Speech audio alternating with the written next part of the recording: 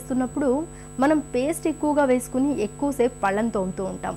ఇక నోటి దుర్వాసన సమస్యగా ఉన్నప్పుడు రోజుకు రెండు మూడు సార్లు బ్రషింగ్ చేయడంతో పాటు టీవీల్లోనూ పేపర్లలోనూ చూపించే అన్ని రకాల టూత్పేస్ట్లను వాడి చూస్తూ ఉంటాం. ఫలానా టూత్పేస్ట్ వాడితే నోటి దుర్వాసన తగ్గుతుందని అనుకుంటాం. మరి నిజంగానే నోటి దుర్వాసనను తగ్గించే టూత్పేస్ట్లు ఉన్నాయా ఈ విషయం గురించి డాక్టర్ ఏం చెప్తారో ఇప్పుడు తెలుసుకుందాం.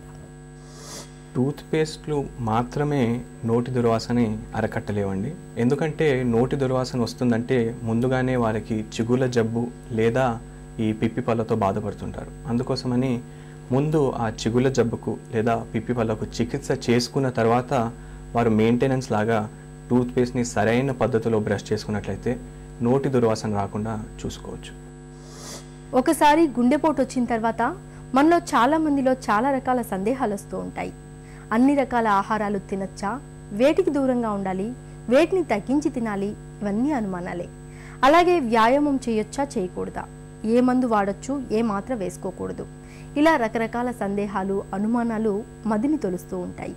గుండెపోటు వచ్చిన తర్వాత జీవనశైలి అలవాట్ల విషయంలో ఎలాంటి జాగ్రత్తలు తీసుకోవాలో డాక్టర్ని అడిగి ఇప్పుడు తెలుసుకుందాం.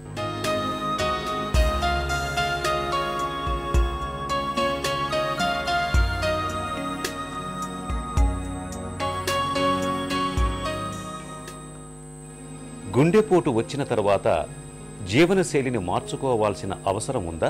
గుండెపోటు వచ్చిన తర్వాత ఈ ప్రాథమికమైన చికిత్స అయిపోయిన తర్వాత తప్పనిసరిగా జీవన శైలిలో మార్పు చేసుకోవాల్సిన అవసరం ఎంతైనా ఉంది. ముఖ్యంగా జీవనశైలి మార్పు అంటే ఆహారపు అలవాట్లో మార్పు శారీరక వ్యాయామం క్రమబద్ధమైన శారీరక వ్యాయామం చేసుకోవడం అదేవిధంగా ధూమపానం స్మోకింగ్ చేసేవాళ్ళు అది మానుకోవడం అట్లా కొన్ని మన జీవన శైలిలో మార్పు అవసరం. గుండెపోటు తర్వాత ఎలాంటి ఆహార నియమాలు పాటించాలి? ఒకసారి గుండెపోటు వచ్చిన తర్వాత ఆహార నియమాల్లో కొన్ని మార్పు తప్పనిసరిగా చేసుకోవాలి. ముఖ్యంగా ఈ గుండెపోటు ఎందువల్ల వస్తుందంటే మనం తీసుకునే ఆహారంలో ఎక్కువ శాతం కొవ్వు పదార్థం ఉన్న వాళ్ళకి వాళ్ళలో కొలెస్ట్రాల్ ఎక్కువగా ఉండటం వలన ఈ కర్నరీ ధమనంలో పూడికలు ఏర్పడటం వల్ల గుండెపోటు వస్తుంది. అందువలన ఆహార నియమాల్లో కొన్ని మార్పులు తప్పనిసరిగా చేసుకోవాలి. అంటే హై కంటెంట్ ఆయిల్ కంటెంట్ ఈ క్రొవ్వు పదార్థాలు ఆయిల్స్ ఎక్కువగా ఉన్న ఆహారాన్ని తగ్గించుకోవాలి. ఎందువల్ల ఇవన్నీ కూడాను డైరెక్ట్గా కొలెస్ట్రాల్ ఫార్మేషన్కి అవుతాయి. అంతేకాకుండా సమపాళ్ళలో మనకి మాంసకృతులు తర్వాత కార్బోహైడ్రేట్స్ కూడా తీసుకోవాల్సి ఉంటుంది. ముఖ్యంగా ఈ గుండెపోటు వచ్చే వాళ్ళల్లో నూటికి నలభై శాతం మందికి మధుమేహ వ్యాధి కూడా ఉంటుంది. కాబట్టి ఈ ఆహార నియమాల్లో ఈ మధుమేహ వ్యాధిని కంట్రోల్ చేయడానికి అవసరమైనటువంటి ఆ నియమాలు కూడా తీసుకోవాల్సి ఉంటుంది. మాంసాహారం తీసుకునే వాళ్ళు ముఖ్యంగా రెడ్ మీట్ అంటారు. అంటే మటన్ అని కానీ లేకపోతే కొలెస్ట్రాల్ ఎక్కువగా ఉండే రొయ్యలు ప్రాన్స్ అంటారు. వీటిని తీసుకోకూడదు. కాకపోతే కోడి మాంసం స్కిన్ లేకుండా చికెన్ తీసుకోవచ్చు. లేదా చేపలు ఫిష్ అవి సముద్రం అయినా కానీ మంచినీటి అయినా కానీ అవి తర్వాత ముఖ్యంగా ఈ గుండెపోటు వచ్చిన వాళ్ళందరిలో ఎక్కువ మందిలో కూడా హై బ్లడ్ ప్రెషర్ కూడా ఉంటుంది కాబట్టి ఆహారంలో సాల్ట్ తక్కువ తీసుకోవాలి. గుండెపోటు వచ్చిన తర్వాత మందుల వాడకం ఎలా ఉండాలి? ఒకసారి గుండెపోటు వచ్చిన వాళ్ళకి దానికి ప్రాథమిక చికిత్స అయిపోయిన తర్వాత బీటా బ్లాకర్స్ అంటారు. ఎందుకంటే గుండె యొక్క వేగాన్ని నియంత్రించేవి లేదా గుండె యొక్క బ్లడ్ ప్రెషర్ బ్లడ్ ప్రెషర్ని తగ్గించే మాత్రం బీటా బ్లాకర్స్ కంపల్సరీగా తీసుకోవాలి. అదేవిధంగా రక్తాన్ని పలచగా చేసేవి వీటినే యాంటీప్లేటెడ్ డ్రగ్స్ అంటారు. ఎకోస్ప్రిన్ అని క్లోపిడోగ్రిల్ అని. ఇటువంటి మెడిసిన్స్ కూడాను తీసుకుంటూ ఉండాలి. అంతేకాకుండా రక్తంలో ఉన్న కొలెస్ట్రాల్ని తగ్గించడానికి స్టాటిన్స్ అంటారు.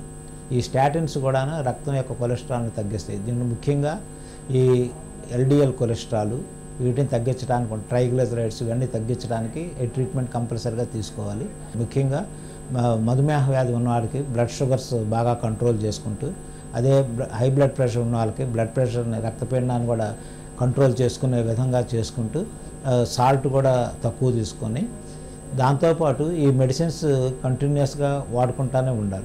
తర్వాత ఇవన్నీ కంట్రోల్ బాగా వచ్చిన తర్వాత అప్పుడు మెడిసిన్స్ మోతాదు తగ్గించడానికి అవసరం ఉంటుంది. గుండెపోటు గుండెపోటుకి సంబంధించి మెడిసిన్స్ తీసుకున్న వాళ్ళు మిగతా మెడిసిన్స్ తీసుకోకూడదని కానీ ఏదైతే అవసరమైతే అవి తీసుకోవచ్చు. కాకపోతే ఈ డ్రగ్ ఇంట్రాక్షన్ లేని మెడిసిన్స్ మాత్రమే వాడాల్సి ఉంటుంది. గుండెపోటు వచ్చిన తర్వాత వ్యాయామాలు చేయొచ్చా?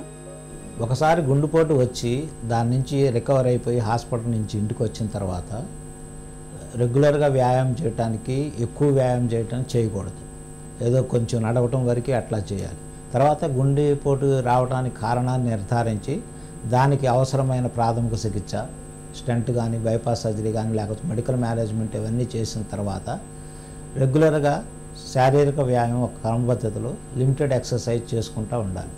యూజువల్గా ఇది సుమారు రోజుకి ముప్పై నిమిషాలు నడవడం కానీ వాకింగ్ అనేది బెస్ట్ ఎక్సర్సైజ్. మిగతా జాగింగ్ వీటన్నిటికంటే కూడా వాకింగ్ అనేది బెస్ట్ ఎక్సర్సైజ్. కాకపోతే ఈ వ్యాయామం చేసే వాళ్ళకి వాళ్ళకి ఎటువంటి సిమ్టమ్స్ కానీ లైక్ మళ్ళీ చెస్ట్ పెయిన్ రావడం కానీ లేకపోతే ఆయాసం రావడం కానీ ఇట్లా వచ్చినప్పుడు